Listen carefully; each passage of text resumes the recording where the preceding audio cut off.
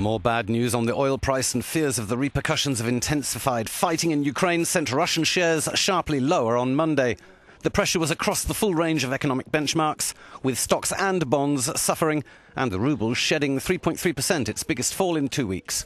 With President Barack Obama saying this weekend that significantly stricter sanctions against Moscow were being studied after what he said was a renewed offensive that was clearly backed, equipped, and financed by Russia, the markets took fresh fright.